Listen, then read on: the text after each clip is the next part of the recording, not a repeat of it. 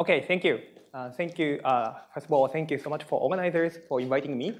And also, uh, I, I, have to apologize for my bad scheduling. Like, uh, you know, my schedule, uh, my talk originally was scheduled yesterday, but you know, it turns out it's not possible for me to attend, you know, come by that time. So thank you so much for rescheduling. So today I'm going to talk about symmetry indicators for topological superconductors, and uh, I did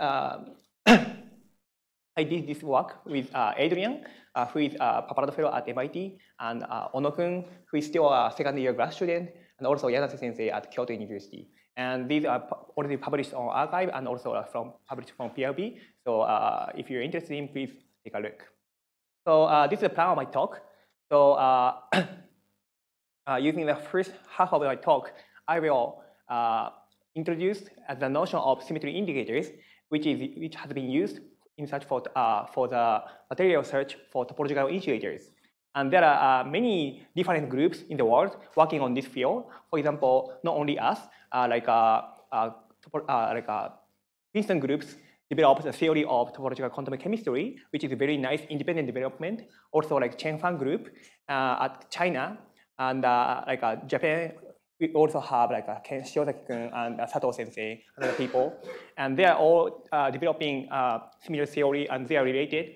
And uh, I, I want to acknowledge their uh, kind of you know independent works. And uh, also like the main talk, main goal of this talk is to extend this notion of topological symmetry indicators to superconductors. Already for this, there are many different arXiv preprints. So if you're interested, you can check. Okay. So I first of all, I want to explain. So what is symmetry indicators? So uh, to explain that, I have a very simple uh, example of 1D spins on a ring. So I have a, a XY spin. So this spin is constrained to be in plane. Okay. In this setting, I have I can define a winding number z that is you know from a, a you know the this ring, 1D ring, to the direction of spin, okay? And you know, the, that kind of winding number can be computed easily by keep tracking, you know, the direction of spin. But suppose uh, we cannot do that. Then uh, there's a very easy way to see even and oddness of this winding number. To do that, I have to add a symmetry. So here, let me add a symmetry about rotation about this axis, okay? So I, this is the rota rotation axis. So spin, this spin is related to this spin. This spin is related to this spin, okay? So there's a Z2 rotation symmetry.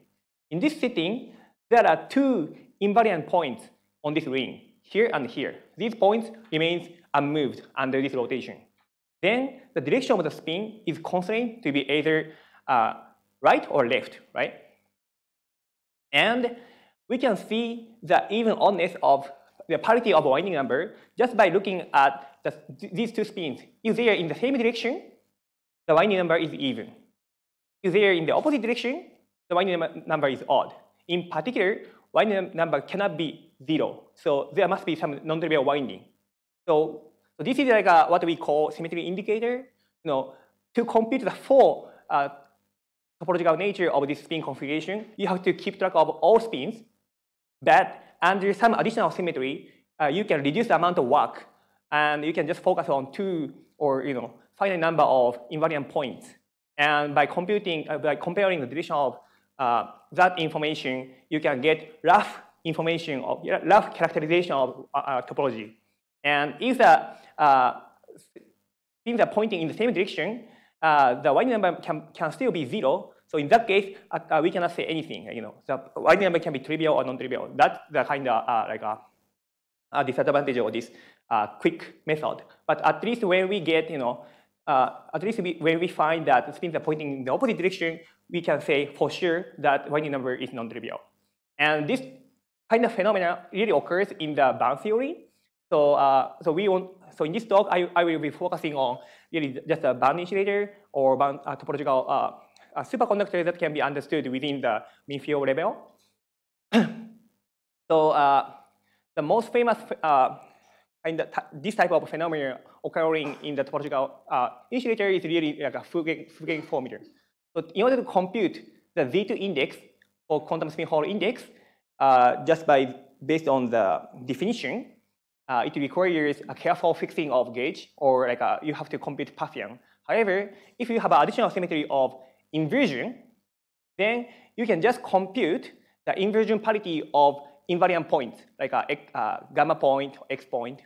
And if the parity multiplies to a negative uh, minus one, then the topology it is it suggests that you know the Z2 index is non-trivial.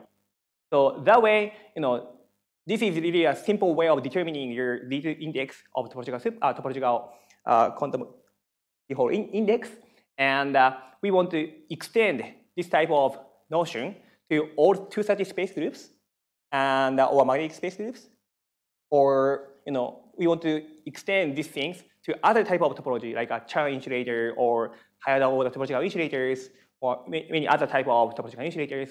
And also, uh, the main goal of this talk is to extend this uh, discussion to 10 internal symmetries so that we can use it to, for example, topological superconductors. So that's the topic of my talk. Okay. So and uh, uh we studied this thing and we performed this uh, uh, exercise to 230 space groups, and we found that actually the most uh, interesting example occurs in the uh, these uh, uh, inversion case. So the, the, the most interesting example I want to explain is like a, a inversion symmetric topological uh, inversion symmetric insulator with hyperspace symmetry, and you have symmetry coupling. So in this in this setting, we found that the class, the classification we performed gives you a result Z2 cross Z2 cross Z2 Z4. So this is, in, uh, this is a result in three dimension. and it was surprising to us because in this setting, we thought the classification is Z2, Z2, Z2, Z2, uh, each correspond to weak TI and strong TI. However, we got Z4, and we didn't know the meaning of this. And then it turns out that this Z4 suggests uh, like a, a high order topological insulator, 3, 3D insulator with a 1D uh, uh, chiral edge mode. So our formalism can use to detect such kind of non-trivial topology. And uh, to do that, actually what we can have to do is very simple. We, we just have to uh, take summation of inversion parity, not products. If you take products, you get plus one, and you thought that this is trivial. So this insulator is trivial uh, in the Fu-Kane formula. However, using our refined formula, uh, you can just uh, take some of the inversion parities, and if you get two, modulo 4, then it suggests that your insulator is like a, a high order topological insulator. So you can use our method in this way. And because this is very simple, and there has been a, a very nice development in the material search uh, direction. So like uh, people have uh, people looked at the list of material in the database and uh, listed the candidate of topological insulators, and there are very uh, like back to back to back uh, Nature article published from like a uh, Princeton group and Berkeley group and Chinese group. And so these are all good. So that is why I want to kind of extend this kind of development to material search for topological superconductors. Okay? So let me, before doing, going into the topological superconductors part, let me give you more details of this formalism. So, so uh, in the symmetry indicator method, we have to look at representation of band structure. So here I have some band structure, and let me focus on this set of bands. Like I, ha I have three bands here, separated by band, uh, band gap, okay, below and above. On each band uh, branch, I have some character that means the symmetry representation of little group of, of this momentum. So at sigma point, I have uh, many representations, but this branch uses sigma 1 representation, sigma 1 representation, sigma 2 representations. So at each momentum k, uh, you can look at the little group and find which irreducible representation this band belongs to. So that you can do. So in general, uh, for each moment, high, high symmetry momentum k, uh, you first have to find little group gk and list up all irreducible representation uk alpha.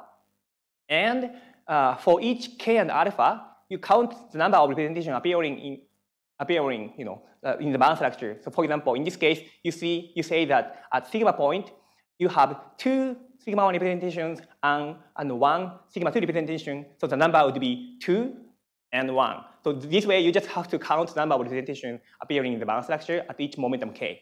Okay? And you get that integer nk alpha, and you formula just you just uh, you know uh, arrange them into some kind of vector. This is how I characterize a single band. Okay. Uh, so for example, in 2D lattice with inversion symmetry, generic momentum k will be mapped to k from k to minus k. But there are four special points, 0, 0, pi 0, 0 pi, pi pi. So these points I will, I will focus. And, and uh, these are uh, parity labels. Uh, that's an example. So there are many combinations, like uh, many possible combinations. For example, uh, there can be an insulator with plus, minus, minus, plus, and I will then write it this way here. Okay. So this way, uh, you can get many different combinations of parities for uh, for any possible in insulators. Among these combinations, I have to then uh, kind of judge which combination is trivial. So I have to next define what is trivial insulators. So I would say insulator is trivial when it is smoothly or adiabatically deformed to this limit. So here I have just lattice, lattice sites, and I have atomic orbitals, but they don't hop. They are just isolated atomic levels. There's no hopping between them, so they are kind of product states in their space. This is just a very trivial insulator, right? Uh, but uh, the atomic insulator is not unique. So there can, there can be multiple choice. For example, uh, like, uh, you know, if we assume inversion symmetry, then there can be four different positions in real space in unit cell where I can put an orbital. So it's like, it can be just a, like a center of unit cell or center of plaquettes or center of bonds, right? They, they are all different positions. Also, I can put two types of orbitals, like s orbital and p orbital, and they have different representations with respect to the residual symmetry of this point. So this point is uh, has inversion symmetry. So the inversion eigenvalue of this orbital can be plus one or minus one. So there are two different types of orbitals. So I in total, I have eight choices in this setting. And in a more, more general case, if I have more, more complicated space group uh, or more complicated lattice, I can have more different choice of atomic insulators. And in, so in this simplest case, if I place my s orbital to the center of a unit cell, uh, then uh, a unit cell origin, then in momentum space, the representation combination is actually plus, plus, plus, plus. However, if I uh, change the position to the center of bonds, then actually in momentum space, the, my inversion representation changes to plus, minus, plus, minus. And I can generate many different combinations of inversion parities by changing, changing the position of atomic level and also the changing, changing the nature of orbital, namely like to p orbital. So to explain you know, why the representation changes, uh, I, I have to uh, look at the wave function. So here, I place my at atomic orbital to the center of bonds like this. So this means at momentum 0, 0, the inversion parity is plus 1. So if I perform inversion operation with respect to this, this point, then plus goes to plus, so inversion parity is plus. However, at momentum pi 0, my wave function changes alternate in sign, right? So plus, minus, plus, minus. So if I perform inversion operation with respect to this point, then the sign changes, so the parity is minus 1. So that way, you know, it, the, the inversion parity of your wave function really depends on the position you place your atomic orbital. Okay? Then, uh, after setting up trivial insulator, like now I can extract non-trivial topology using uh, by focusing on the inversion parity, or more generally some representations. So I would say, uh, you know, let me repeat. So I would say uh, bound, this band insulator is trivial when this band can be smoothly deformed to trivial limit. In this trivial limit, I don't have any hopping, so the band structure will be just flat. But not only that, I have some inversion, uh, I have some combination representations. So, so this B vector, so recall that this B vector contains the information about representation combinations, like one, two, three, or like plus or minus. So that information is contained in B. I can get representation combination of this flat band, like a trivial insulator, that is A.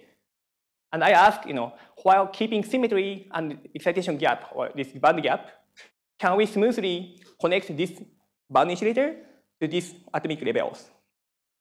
If the answer is yes, this band insulator is trivial. If the answer is no, this band insulator must be non-trivial.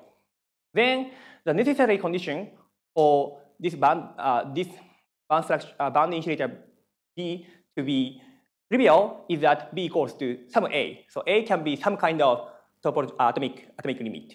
So that's how I use the, uh, this uh, representation information. So in general, I compare this, you know, many possible types of band, uh, band insulator uh, representation combination against the combination of atomic limit.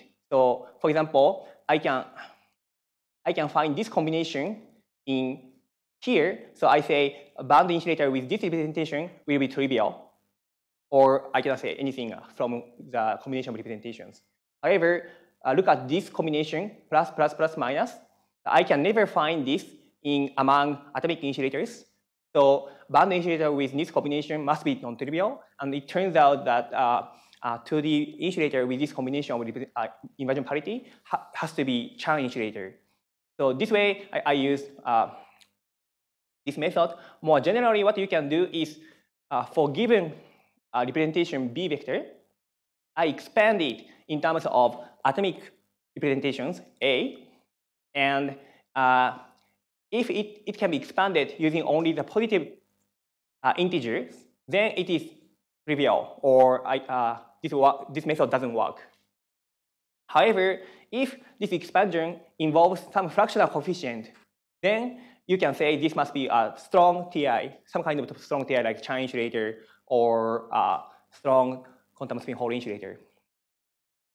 And if it involves some negative sign, then uh, it, it, it, is, uh, it must be a fragile topological insulator, which is an interesting uh, class of topological insulator. But uh, today I'm not going to in the detail of that kind of things.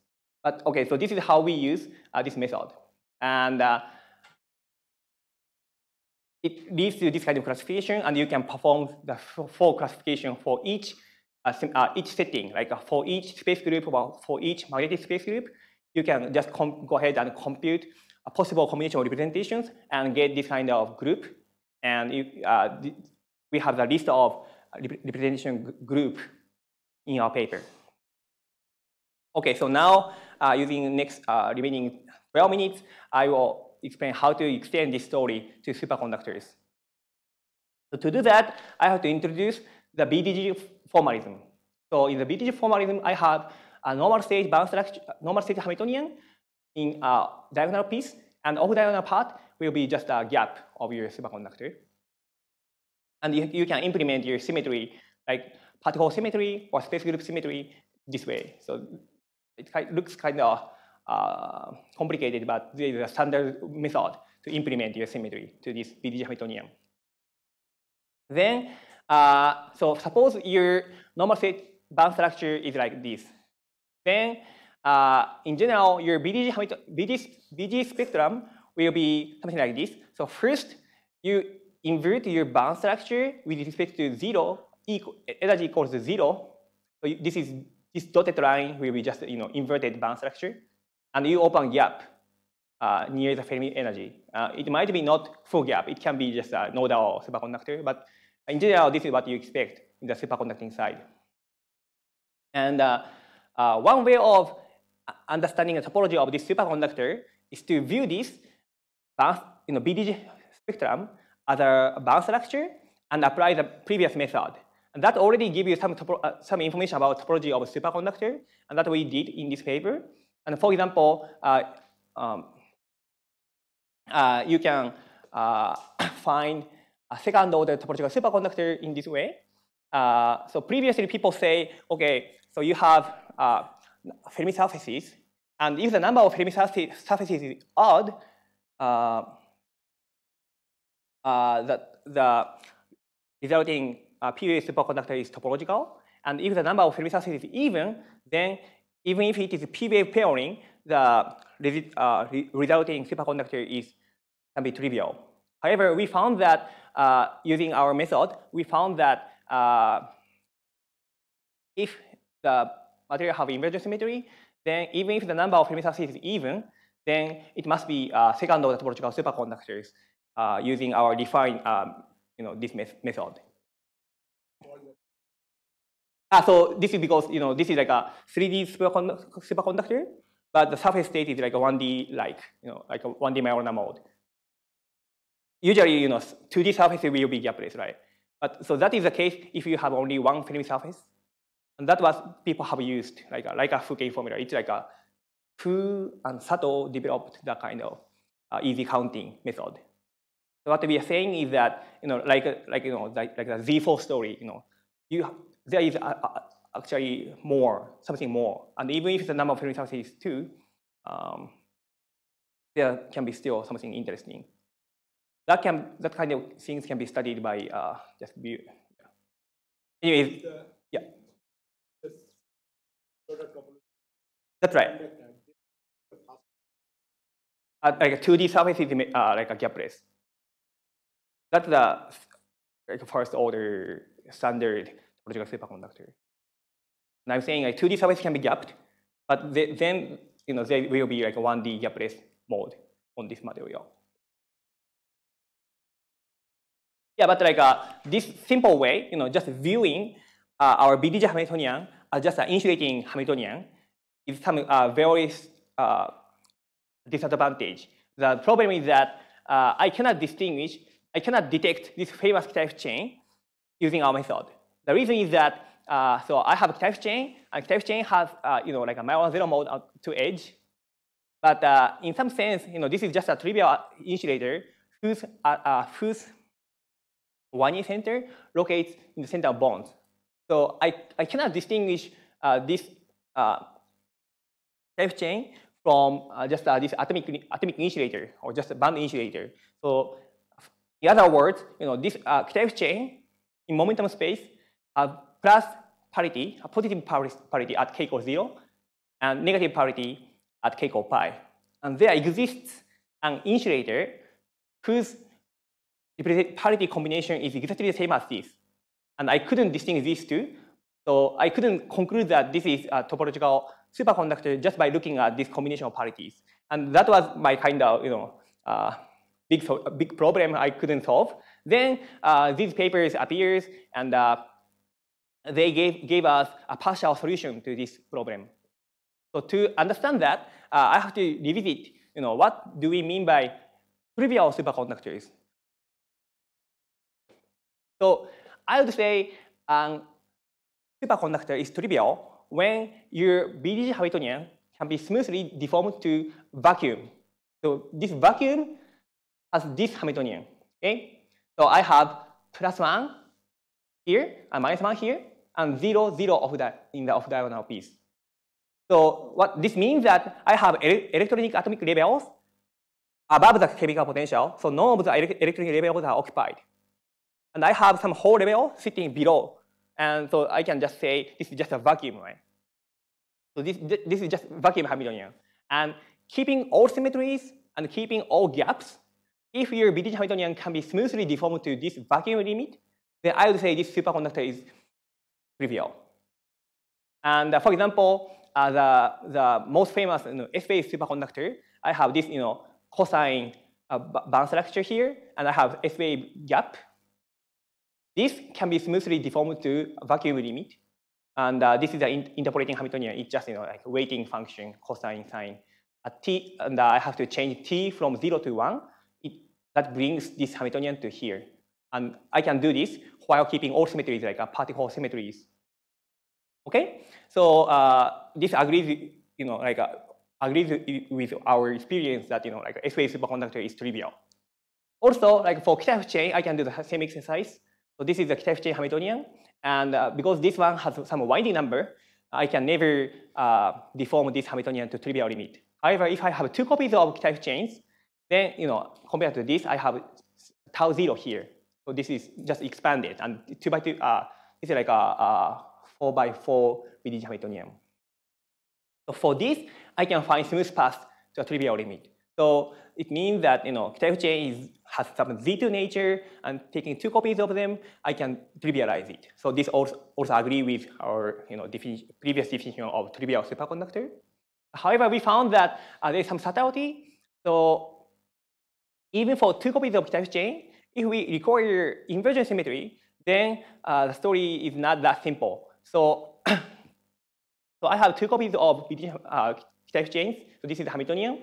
And if I look at, if I impose this inversion symmetry, then uh, I will find the parities at k equals 0 is uh, both of the uh, both of the two bands below the chemical potential or equal 0 have two uh, plus parities. And at k equal pi, you have negative parities.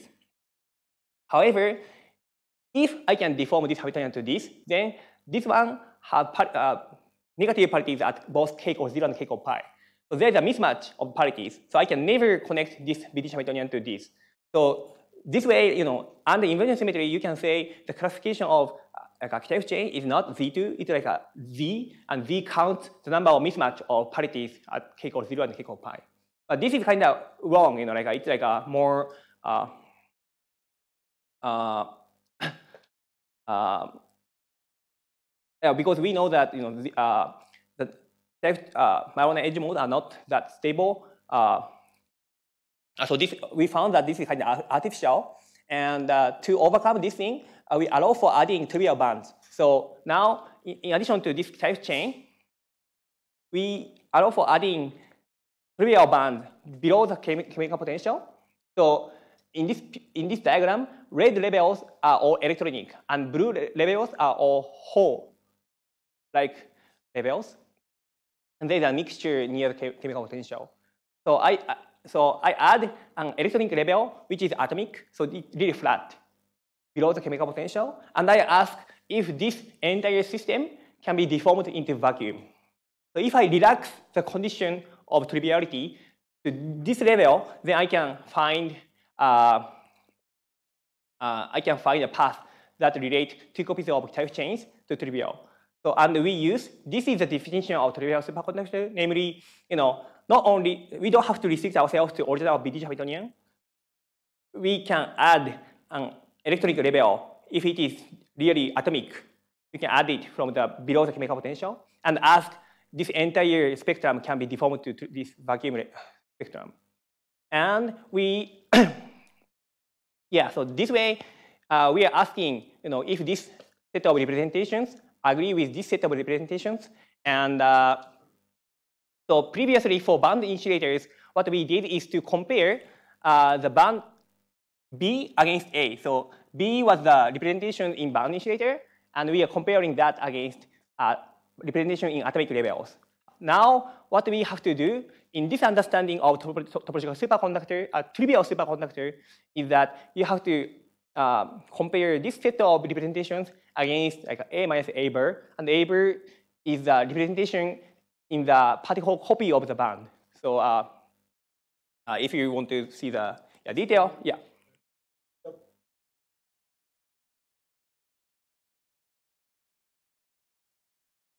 Uh, no, no, no. So uh, the Kitaev chain thing, right? Uh,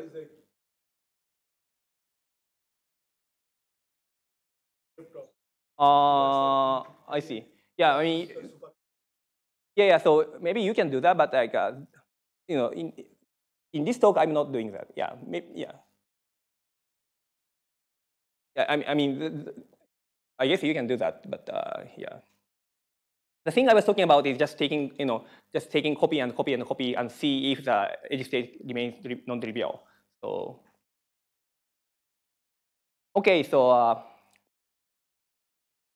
and yeah, so based on this new understanding of, you know, comparison of, you know, the representations below the equal zero, you know, what you have, and you compare that against this combination of atomic limit, and uh, using this understanding, we performed calculations for all 230 space groups and also for uh, different uh, representations like S-wave pairing or P-wave pairing.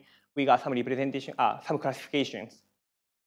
And we got some uh, uh, new kind of new kind of classifications. but I don't think I have time to go into the detail. So what I want to stress is that, you know, how we can use this method. So, so I said, you know, there are uh, uh, you know, success of symmetry indicator method in the material search for topological insulators. So the goal of this talk was, you know, to extend that kind of things to superconductors, and we ideally, you know, we want to perform similar kind of, you know, extensive search of topological uh, materials using like DFT band structure calculations. So, uh, so this is how I want you to use this method, okay?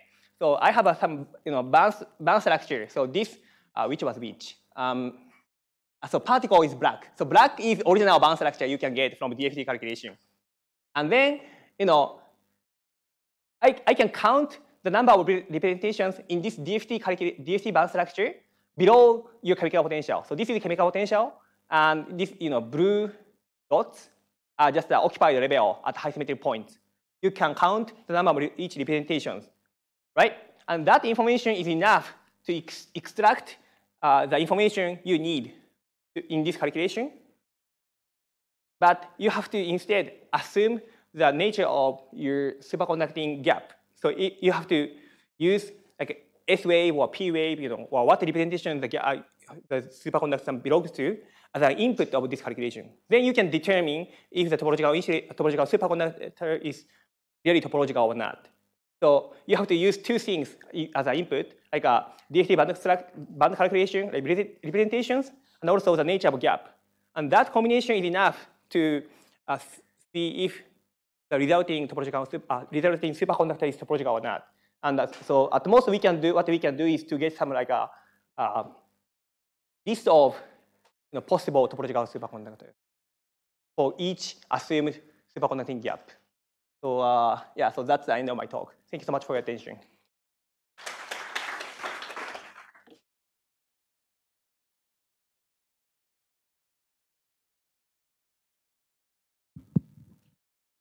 So um, maybe I misunderstood something, but uh, in your refined characterization of topological superconductivity, mm -hmm. topological superconductors, you introduce some trivia or atomic yeah, yeah, yeah.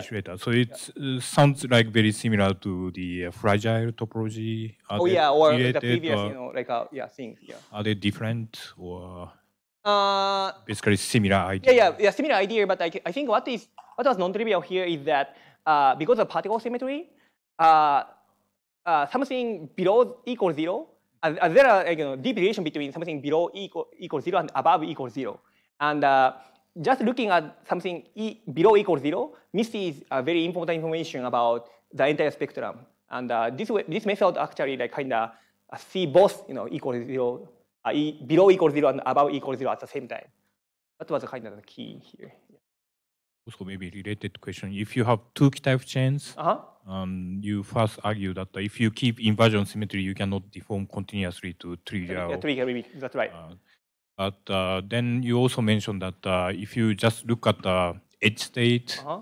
Uh, I think it's Majorana, uh, fermion, you might I didn't do that. Them. Yeah, I didn't do that uh, exercise myself, but uh, -huh. uh because uh, uh, so coupling these edge states does not seem to break inversion symmetry. So mm -hmm. how, how, these two uh, viewpoints are related? Maybe you. Maybe there's, there's somebody who knows this. Uh, two type J and the inversion symmetry. I have two Majoranas, and I think I can introduce some uh, perturbation that opens the gap here. Yeah. Ah. Ah. Mm -hmm, mm -hmm, Thank you.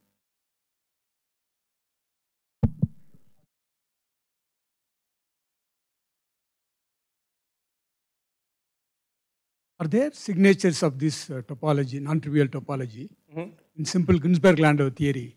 Are there some simple examples where you uh, can look at the Ginzburg-Landau uh -huh. action and then say that there is topology?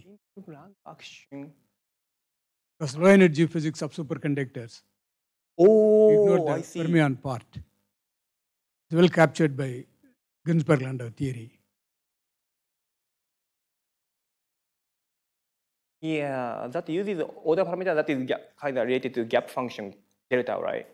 But just looking at delta, I'm saying, you know, so you know, like people say like P-wave superconductor is interesting, but uh, I, I was just saying, you know, like a P-wave, just knowing P-wave, that there are still two uh, possibilities like trivial or non-trivial. So I'm not sure if that's enough. Yeah. Any more questions? Uh, my question is related to means uh, uh, there is a theoretical prediction that if you couple a couple a helical edge mode in the quantum Hall state to a normal superconductor, Mhm. there is a realization of the topological superconductivity. So will this formalism will uh, uh, means uh, is it it will be able to classify that uh, particular phase means that topological superconductor phase with this formalism? So I didn't quite get. Uh, Okay, so uh, let me refine. So basically, in the topology, uh, there has been a prediction that if you couple a normal superconductor to a helical edge mode, Mhm. so in there there will be a possibility of the topological superconductor. So is it possible that your formalism will be able to classify that? So can we understand that system in terms of like a like BDG formalism or Uh, oh, that I don't know, but yeah, like a sound. Yeah, if you know like a strong interaction, like interaction is like really the key, and if it's beyond mean field, uh, that's something I cannot deal with. But if it fits into this BDG formalism, okay, uh, I think it will be better to. Uh, uh, let's talk later. Yeah. Okay, so let's thank Haruki for the talk. Uh,